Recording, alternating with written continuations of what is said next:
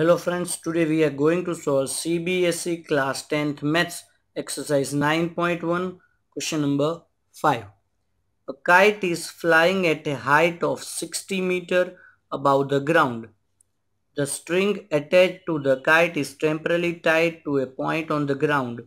The inclination of the string with the ground is 60 degree. Find the length of the string assuming that there is no slack in the string so means they are telling a kite flying at a height of 60 meter from the ground.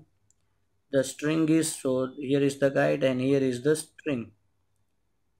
And it is attached and that string is making 60 degree with the ground. So find the length of the string. This we have to find out.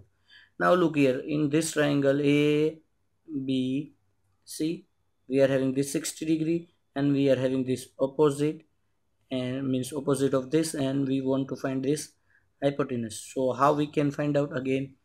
In triangle ABC now we are having opposite and we want to find out hypotenuse. So opposite by hypotenuse that is sine. And the degree is given to you.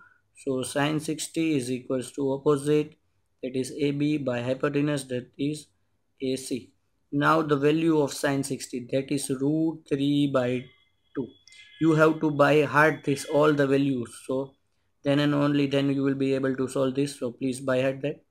Now AB is equals to 60 meter AC that we want to find out. Now take this AC here.